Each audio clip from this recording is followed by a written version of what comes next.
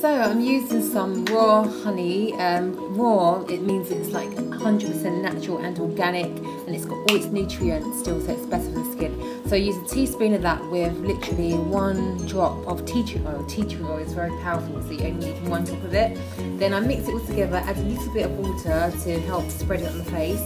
Then I apply it to my face, really, really massage it in, um, and you'll find it just really smooth and easy on the face. Honey is very sticky, so you really want to really massage it in, and that's really good for the skin that way. And I leave this on for at least 10 minutes, ideally 20 minutes.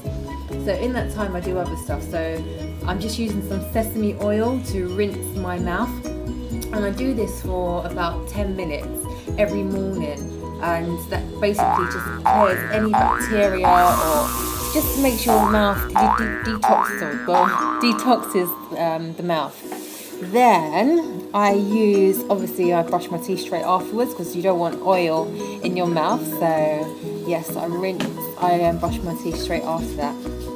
So um, the mask stays on and then when it's time to take off, I just rinse it in water and it easily comes off the honey just dissolves in the water. And obviously it's very sticky still, so I try to use, no I do use some um, toner uh, afterwards and that just removes any um, stickiness and just prepares the skin for moisturizing. So I always use some oil, um, that's rosehip oil because my skin gets very dry and it's an excellent oil for dry skin and it removes any blemishes, helps to remove any blemishes from the skin.